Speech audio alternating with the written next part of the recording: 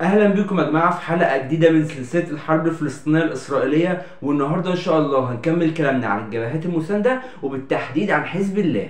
ويوم 13 تشرين الثاني أو يوم 13 نوفمبر قدرت قوات من حزب الله إن هي تستهدف قوات مشاة تبع الجيش الصهيوني بالصواريخ الموجهه وفي نفس اليوم ردت قوات الجيش الإسرائيلي إن هي قصفت بلدات على الشريط الحدودي بين لبنان وبين فلسطين لاعتقاد القوات دي إن هي مواقع تابعة لحزب الله. وفي نفس اليوم أعلن حزب الله إن في واحد من المجاهدين استشهد نتيجة الهجمات. يوم 14 تشرين الثاني أعلن حزب الله إنه استهدف أكتر من موقع تابع للجيش الصهيوني في منطقة مزارع شبعة اللي هي في الأصل تبع الدولة اللبنانية بس هي محتلة من خلال الجيش الإسرائيلي. وفي نفس اليوم رد الجيش الإسرائيلي إنه قصف أكتر من موقع تبع لحزب الله في منطقة مزارع شبعة وعلى الشريط الحدودي بين لبنان وبين فلسطين المحتلة ويوم 15 تشرين الثاني أو 15 نوفمبر أعلن حزب الله إنه استهدف قوات مشاة وآليات عسكرية ومواقع كلها تبع للجيش الإسرائيلي. وفي نفس اليوم رد الجيش الإسرائيلي إنه قصف أكتر من موقع وأكتر من مدينة مدينة طبعا تبع المدنيين يعني ساكنين فيها ناس تبع للشريط الحدودي اللي بين لبنان وبين فلسطين. ويوم 16 تشرين الثاني أعلن حزب الله إنه قدر يدمر مجموعة كبيرة جدا من الآليات والمدرعات والدبابات المركبه وعدد كبير جدا من الدبابات بأكتر من عيار وأكتر من حجم من خلال القذائف المدفعية والصواريخ الموجهه وفي نفس اليوم أعلن الجيش الإسرائيلي إنه قصف أكتر من بلدة البلدات دي على الشريط الحدودي بين لبنان وبين فلسطين بس قصفها بالقنابل الفوسفورية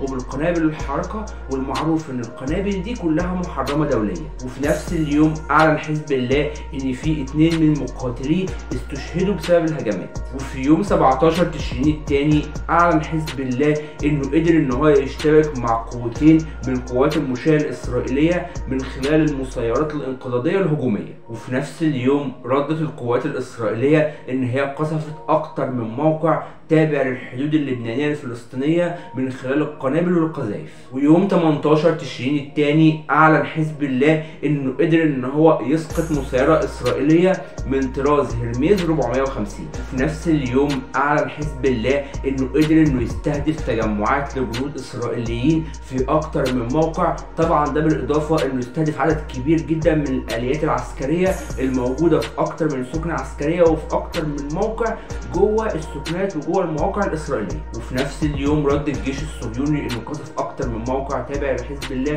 وقصف أكتر من بلدة اللي موجود فيها مدنيين بس بالطيارات وبالقذائف المدفعية. ويوم 19 تشرين الثاني أعلن حزب الله إنه قدر إن هو يستهدف عدد كبير جدا من القوات الإسرائيلية وإنه يستهدف أكتر من آلية وأكتر من موقع ويستهدف عدد كبير جدا من قوات المشاة الإسرائيلية. وفي نفس اليوم رد الجيش الإسرائيلي إنه قصف أكتر من بلدة على الشريط الحدودي وقصف أكتر من مكان موجود جوه مزارع شبعة. ده غير طبعا البلدات الحدودية اللي قصفها الجيش الإسرائيلي.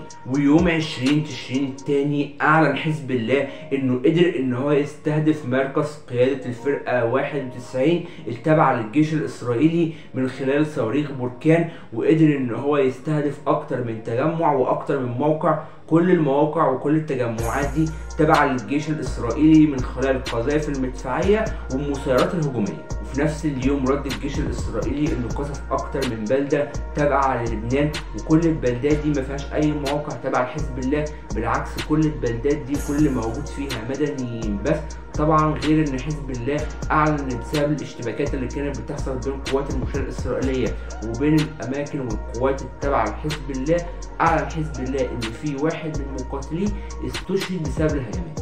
طبعا بسبب إن في عدد كبير جدا منكم بيحب يعرف مصدر الكلام اللي أنا بقوله ده فاحب أقول لكم إن مصدر الأخبار اللي أنا بوضحها لكم في كل حلقة من قناة الجزيرة اللي بتنقل الأحداث دي بشكل حصري. وكده يا جماعة نكون وصلنا لنهاية حلقة النهارده وإن شاء الله الحلقة الجاية أكمل كلامي معاكم عن الجبهات المساندة في الحرب الفلسطينية الإسرائيلية وهتلاقوا كل اللينكات بتاعتي تحت في ال description ما تنسوش تعملوا like وسبسكرايب وتفعلوا زر الجرس عشان يوصل لكم كل جديد. سلام عليكم.